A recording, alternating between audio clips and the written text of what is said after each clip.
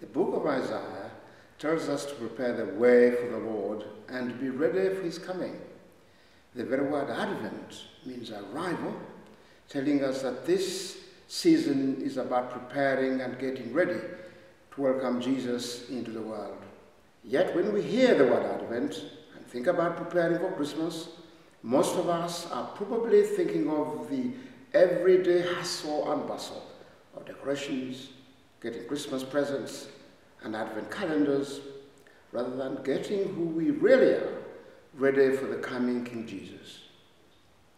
We hear in church each Sunday that Jesus is coming, but we get caught up in the busyness of our day-to-day lives and forget to reflect on what this amazing event means for us. Taking the time to reflect and consider what the birth of Jesus really means is a wonderful thing. It helps us to become closer to God, to deepen our faith, and bring us joy and hope during Advent and beyond. The season of Advent is not only about our preparations for remembering Jesus' first coming to earth over 2,000 years ago in humility and obscurity, it is also about an event we often ignore. We look forward to the time when Jesus will return in glory as King and as Judge. Its timing is unknown, but the fact is sure, and no one will be able to avoid it.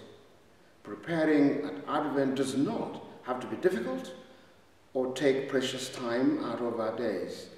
It is something that may be done in the mornings, on our commute to work, over lunch, or even before bedtime. This year, make the most of the time you have with my Advent book for 2017, In Touch with God, by Rosemary and Michael Green.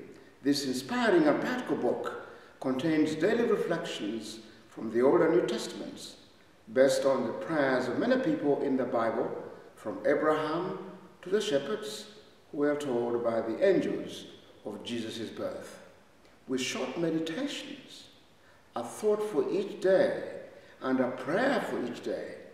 This wonderful book will help us connect the prayers of the Bible to our own lives and reflect on the significance of Jesus' first coming as well as his second coming. So join me in using this book to reflect this Advent on the same prayers Jesus knew and used himself, and let us together come to know God better and prepare ourselves to welcome Jesus fully into our lives now and at Christmas.